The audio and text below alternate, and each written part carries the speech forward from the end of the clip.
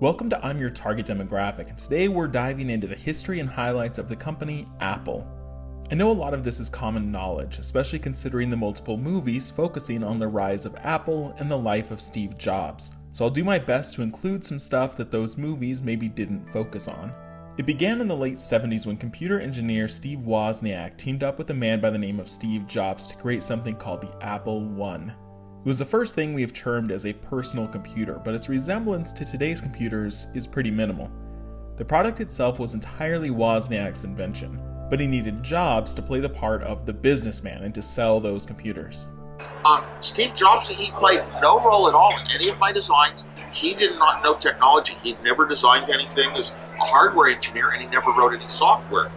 So he just, but he wanted to be important, and the important people are always the business people. So that's what he wanted to be. I wanted to be the engineer in a laboratory, you know, like a mad scientist. There was a third man involved, Ronald Wayne, who sold his 10% share of the company for $800. Those same shares in Apple would today be worth about $60 billion. Uh, I would have wound up heading a very large documentation department at the back of the building shuffling papers for the next 20 years of my life, and that was not the future that I saw for myself. The Apple I eventually gave way to the Apple II, also created entirely by Wozniak. With the Apple II also came the first spreadsheet program called VisiCalc, which now gave people a reason to use the Apple for their businesses. The Apple III arrived in 1980, launching with issues that severely damaged the reputation of the Apple, such as stability issues and a factory recall. It's at this point that most of the drama kicked in between leadership. Wozniak and Jobs had different priorities. Nonetheless, all the other professionals that had been brought on board by this time. Some wanted to focus on the average consumer, some focused on the sleek and attractive look over the computer's functionality, and some wanted to get back to its core of evolving in terms of what it can do. It was in 1984 that the first Macintosh debuted, a computer with a higher degree of visuals, able to graphically represent much more than the previous Apples were capable of. The Macintosh was revealed in one of the most famous commercials of all time, called 1984 and directed by acclaimed director Ridley Scott, which alludes to the famous novel 1984. Macintosh struggled for a long time in the shadow of IBM and other personal computers, which had more variety in terms of software and were usually cheaper. A lot of personal things also happened during this time, including Steve Jobs being removed from Apple. Wozniak also left Apple, selling most of his stock in the company. It wasn't long before Jobs was back, though. In his time off, he launched a new company called NeXT. This technology he worked on there was eventually bought by Apple, which brought Jobs back into the fold initially as a consultant, but later he regained his position as CEO.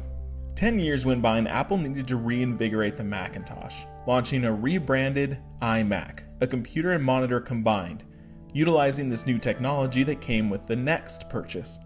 The iMac marked the first time in nearly 10 years that the Macintosh was profitable. The iMac of today looks much different but owes much of its success to this late 90s origin. In 2001, Apple unveiled the iPod, which became a worldwide sensation. With this came the invention of iTunes and one of the first legal ways to download and purchase music entirely online. Because of this success, Apple was rebranded from Apple Computer Incorporated to just Apple Incorporated, since the focus was now on the entirety of consumer electronics. Following the iPod came the iPhone, which also has become a powerhouse among its competition. It was 2011 when Steve Jobs passed away due to complications from pancreatic cancer.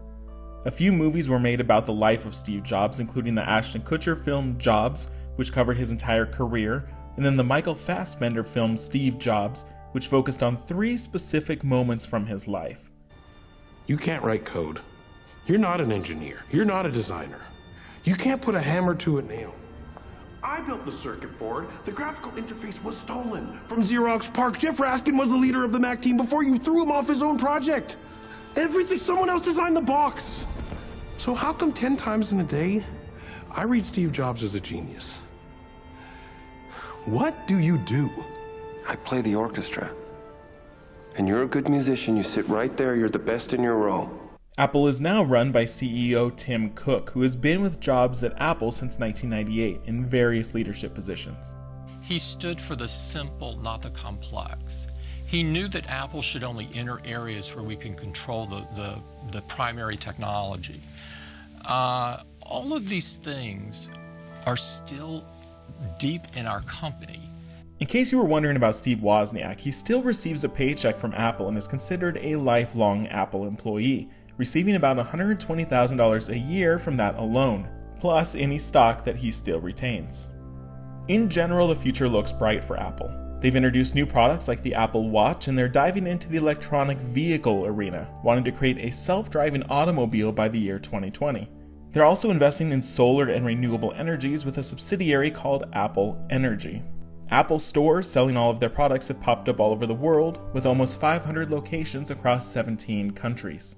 Are you an Apple loyalist? What are your favorite products? Let me know in the comments, and hopefully, you found this interesting. We'll see you next Wednesday for another What Is.